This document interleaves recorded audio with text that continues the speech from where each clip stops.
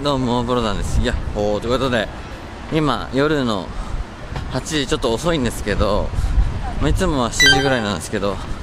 ちょっとね、今日はナイトルーティンということで、はい。俺のナイトルーティンはね、結構、ゴージャスですよ。有意義というか、会社員4年間やってたんですけど、会社員と比べもなんないぐらい時間あるんで、まあ、YouTube あと4年とか5年後ぐらいにもしかしたらなくなってるかもしれない不安定な職業なんですけど不安定がゆえに得られる自由もあるということでちょっとお見せできればなと思います。はい。ということで今8時半からジムへ行きたいと思います。この六本木をね歩いていつも行ってるんですけどまさか自分が六本木を夜散歩のように歩く日が来るなんて思ってもなかったんですけどはいこちら。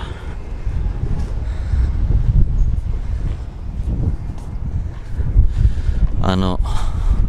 東京タワーを見ながら俺の東京タワーも頑張れと。はいそういうことです。はい。まあそんな感じでまあ8時半って言ったら本当6年前はもう小さい事務所で書類整理したり何やりしてもう残業だったんですけど今こんなゆっくり歩いてると、まあ、人生何が起きるか分かんないんでじゃあ今から港区筋肉おじさんのナイトルーティン行きたいと思います。じゃあ行ってきます。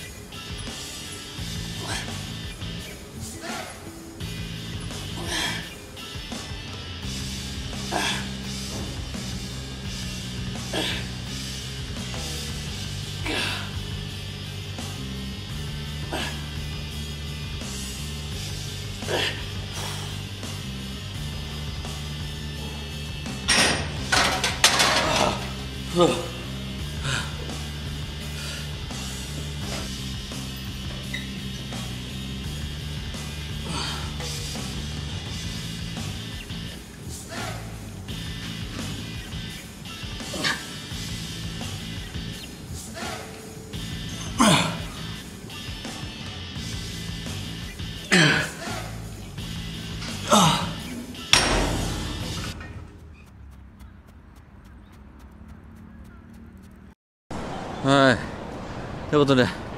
今時刻10時30分。会社員時代だったらもうすでにベッドの中ですよ。朝4時4時に起きてたんで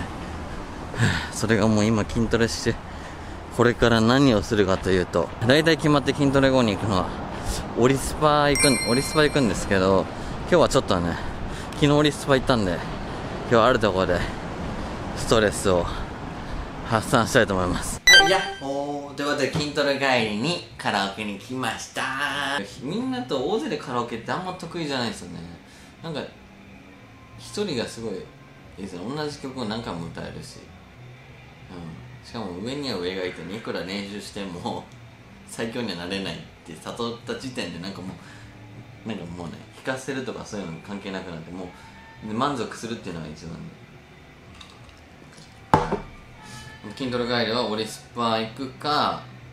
一番優雅なナイトルーティンの時は。オリスパ行ってえっ、と岩盤浴やってからの指圧やるかカラオケに来るっていう。90点出るまで歌っていきたいと思います。楽しみお邪魔女はここにいる。ハートのど真ん中。なあちゃ君の瞳にはなあちゃ何が見えるあばれあばれあばれまく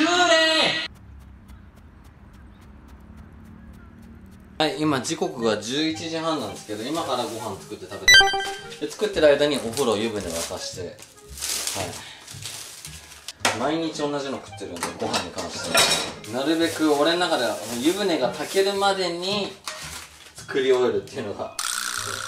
一番いいんですけど。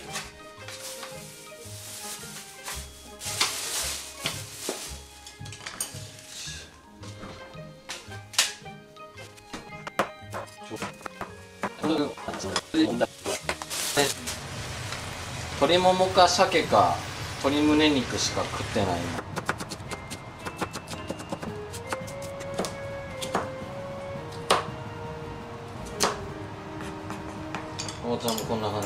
でこの中に入れます。玉ねぎとかぼちゃを。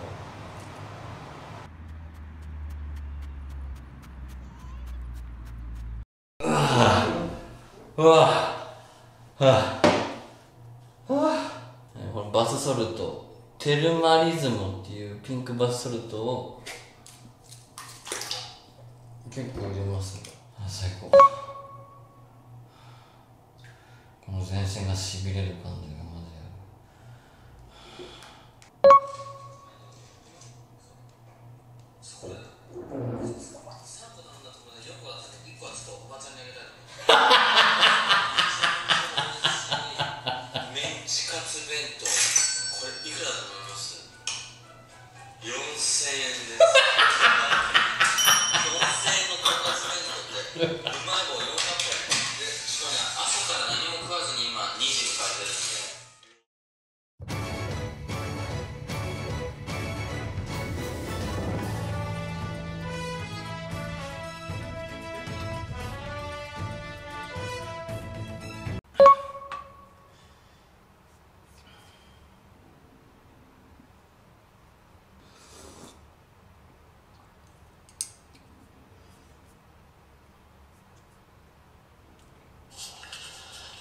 どうもプロタンとかとことで今日はあの皆さん買うのかな？俺はよくチャリとかで、まあ、あの埼玉県の浅草に住んでたんですよ当時上京した時にの時にお弁当屋さんがあってそこでよくいつも見てて買いたいなと思ったんだけど大学生時代貧乏すぎて1ヶ月5000円で済まなかったんですよマジで。で絶対手出さなかったんですよ。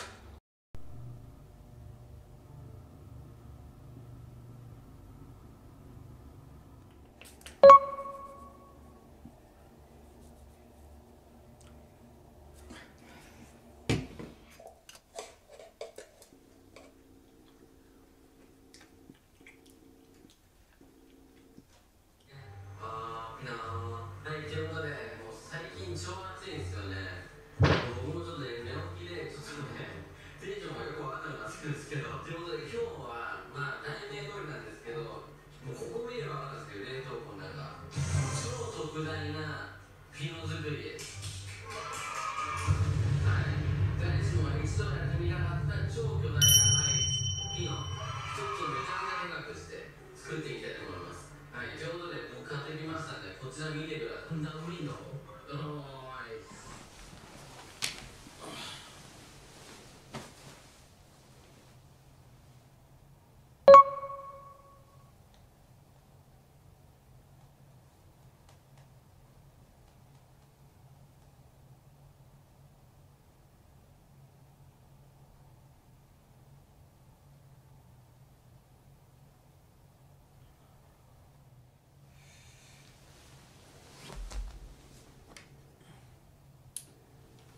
おやすみマンピー。